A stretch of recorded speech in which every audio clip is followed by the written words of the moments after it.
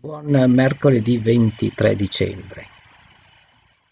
Nasce il figlio di Zaccaria e di Elisabetta e si chiamerà Giovanni, anche se la consuetudine del Tempio vorrebbe che si chiamasse Zaccaria e fosse destinato all'ordine sacerdotale. Ma la coppia obbediente alla parola del Signore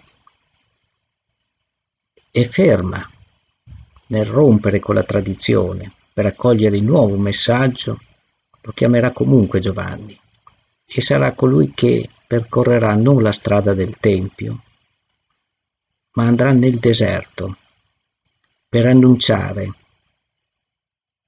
il nuovo messaggio, per annunciare la venuta di Gesù, la venuta del Signore.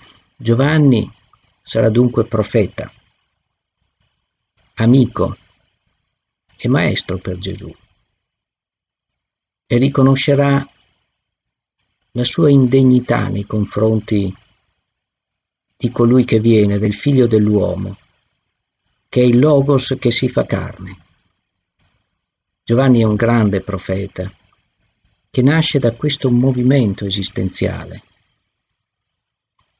dove una coppia sterile è chiamata a generare all'insegna della dimensione dell'amore che Dio ha infuso negli uomini e ha profondamente ricordato attraverso la sua incarnazione nell'umanità.